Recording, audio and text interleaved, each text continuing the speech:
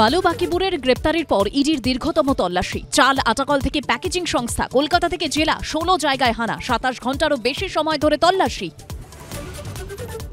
রেশনের আটা প্যাকেটবন্দি করে খোলা বাজারে বিক্রির অভিযোগ। বাকিপুর মডেলেই কি অঙ্কিত ইন্ডিয়া লিমিটেডেও রেশন দুর্নীতি খতিয়ে দেখছে ইডি। ভোটের আগে রেশন তাস মোদির আরও পাঁচ বছর ফ্রিতে রেশন। বিনামূল্যে রেশন ঘোষণায় দেশের আর্থিক দুর্দশার প্রমাণ, খোঁচা জয়রাম রমেশের বিধিভঙ্গের অভিযোগে কমিশনকে চিঠি তৃণমূল সাংসদ সাকেত গোখলের। এথিক্স কমিটির বৈঠকে যা হয়েছে সব রেকর্ড আছে। আমার বিরুদ্ধে মামলা করলে আদানির কয়লা কেলেঙ্কারি নিয়েও এফআইআর করতে হবে। হুঙ্কার মহুয়ার। তৃণমূল সাংসদ কি ভয় পাচ্ছেন?